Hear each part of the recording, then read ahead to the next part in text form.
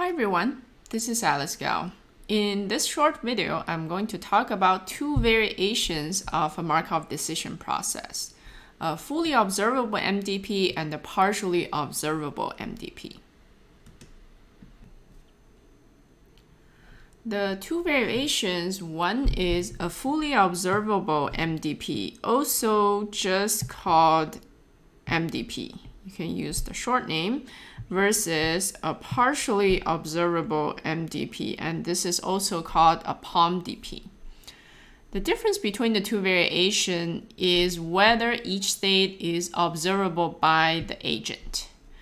We already encountered a similar issue when we talked about a hidden Markov model, right? In the hidden Markov model, each state is not directly observable, but the agent can observe some noisy signal of each state.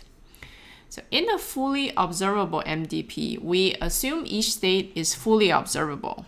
In other words, the agent knows what state it is currently in.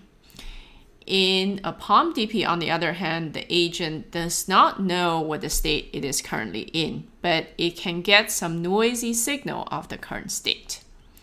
Intuitively, you can think about a POMDP as combining an MDP and the hidden Markov model.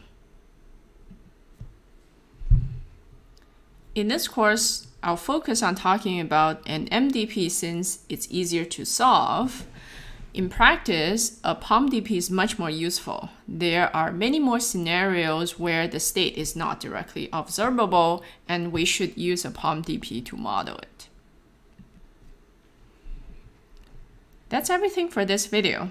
After watching this video, you should be able to explain what's the difference between an MDP and a POMDP.